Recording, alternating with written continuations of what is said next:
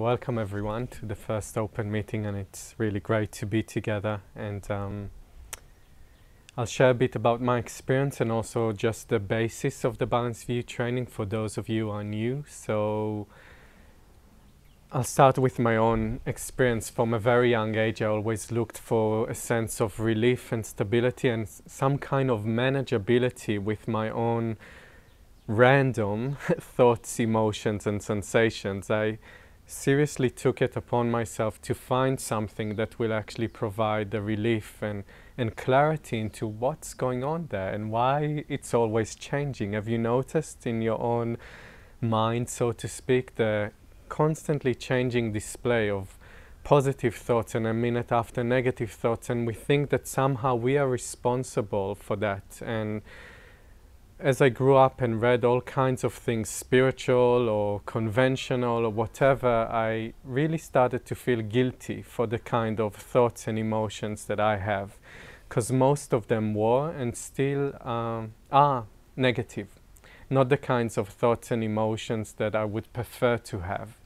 So I came to across the Balanced View training around 10 years ago, in also in India, in Dharamsala a friend kind of took me to an open meeting and I was impressed by Candice's, the founder, assurance in the video when I watched the video and I was like, okay, great, it's interesting. I, I, I felt like I know it already, so I wasn't taking it too much. But then I just kept listening to talks and something started to dawn for almost three months before I met the, the community and training again, I just listened to talks which are available on the website and I started to see how the truth of what's being said is actually starting to pervade my own experience. And I find, found that I have a choice on how I can relate to my own thoughts and emotions where before I felt like a victim of the ever-changing display. And see just now, like in the couple of minutes that we are sitting here together, how many thoughts and emotions and sensations you had. Can we capture them, hold on to them, make them stay there forever or get rid of them? Everything self-releases like a line drawn in space.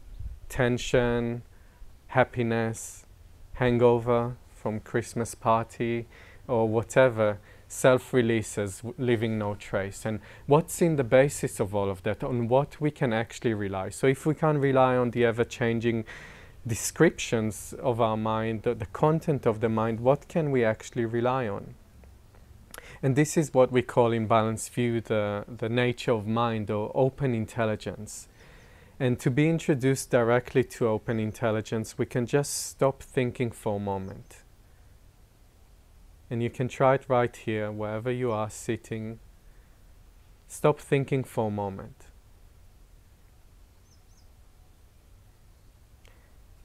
And what remains when we stop thinking? There's a sense of alertness, cognizance, the power to know what's coming up just now. This is open intelligence, the basis of everything that appears. And when we recognize as, when we recognize it in this short moment of stopping thinking, that's the introduction to open intelligence, not something that you receive after years and eons of practice, but on in the first moment of introdu introduction to Balanced View, you get the direct introduction to the nature of mind. And it can sound simplistic or, or whatever you think, but that's it. That's what's looking. What's listening? This is open intelligence.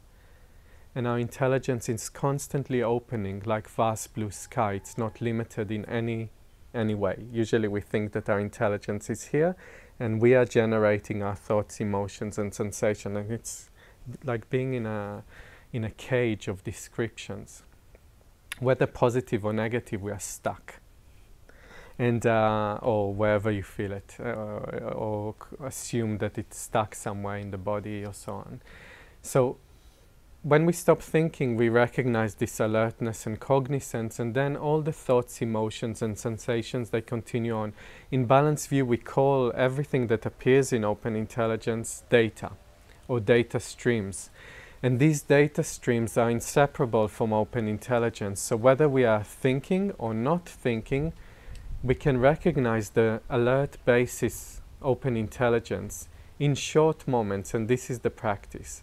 Short moments of open intelligence, repeated many times until the instinctive recognition of open intelligence become continuous all the time. Short moments not long moments of contrived efforting to try and reach to a special state somewhere in the future. I don't know if any of you practice that, but I tried many years to, from a very young age to achieve this special state that the special people get into, and it will be full of sensations, and I will see only light, and, and everyone will clap with every movement I make or every word that I say.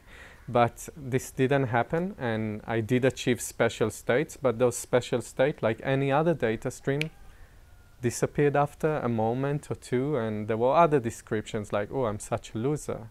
I've been trying so hard, but why I can't hold on to it. So if we are looking for our well-being and perfection and our stability in a refined, refined, refined description of who we take ourselves to be, we will forever fail. It's like being stuck in a hamster wheel. So this is straight talk, and that's what I like in Balanced View and also the approach of the founder, just saying, talking about reality as it is. We have a choice. We are not victims of our data streams. We have a choice to rely on open intelligence and allow complete relaxation for a short moment. And after that, getting tensed and thinking, oh, what is he talking about? Who did I you know, did I drink too much or, or I wish I had partied last night or whatever the thought is, there's a choice there to rely on the basis, alert basis of open intelligence. And that makes life so simple because we are no longer caught or gradually we see that we don't need to be caught in the ever-changing data streams, flickering, yeah, flickering and self-releasing like uh, fireworks. When we see the, all the many fireworks here in Goa, you know, there's a display and then it disappears, leaving no trace. Same, look at your own direct experience and see if this is the case or not. Complete release, benefit, and it's not about just like our own stability. That's of course the beginning point for many of us but it's really about empowering. Once we are freed up from the need to micromanage everything to the details of, you know, positive, I'm allowed to think it, negative, I shouldn't think it or feel it, and this, what my mother will say about that, and all, all the opinions we have about every appearance, there's complete relaxation, and then this energy is released, this beneficial potency is released to the benefit of all. What does it mean practically? Not a contrived stance of I'm needing to always behave in a certain robotic way, in a contrived, compassionate way, but just us exactly as we are. We are completely capable to be of great benefit in by our own ex example, by allowing ourselves to be as we are. Then we start to, for me, when I did the, the 12 empowerments, which is an incredible 12 part training, written training uh, by Candice uh, that we offer also here, my life changed completely. It was like I was introduced to open intelligence. I thought that's great, but then participating in this very specific training, looking at my own experience, seeing where I got stuck in belief systems and assumptions about myself and the world, and including about open intelligence how it limited my relationships with myself, with others, my family and friends. The 12 empowerment step by step just released all of this tension and so many data streams were resolved in such a short time. I was completely amazed. It was like, that's crazy, you know. I, I could have spent my entire life thinking about my relationship with my parents, for example. Why mom did this and that didn't do that or said this thing and blaming them for all my negative psychological issues and so on, that could have continued forever until the moment I died. And then in 12 days, suddenly, whoa, my parents are great, actually. They've always been there for me. I could really start to see naturally the appreciation and care. And that is just one example of one of the profound results of participating you know, reading these profound texts that evoke and elicit the instinctive recognition and also doing it in a group where others share their experience. So short moments of open intelligence. I could see that, wow, this is available everywhere. Whether I wake up with sadness in the morning and a sense of failure again, or whether I wake up with the sense of I'm the greatest being ever. Regardless, I have the choice to rely on open intelligence, to recognize the self release and the benefit. So try a short moment now with the current data stream. Allow it to be as it is. What happens? It's just like that. We think that some data streams that are really important and we need to do something about them, otherwise they will be there forever. But think about your greatest issue in life and how many hours you spent and days and months and years thinking about it and trying to resolve it and it's still coming up. If you're honest, if you have an honest look, usually it still comes up in one way or another. And, there's, and if not, there's the fear that it won't come up again, right? I remember after doing all kinds of processes about myself and arranging my data streams, I was, oh, I got rid of that one, this scary monster. But then I had another data, a new one. It's like, I really hope it will never come back again. and then obviously it did. So, regardless of what we are thinking and feeling, we can enjoy complete stability. I can sit in front of you worried and anxious and angry and not to be affected uh, from it or by it at all.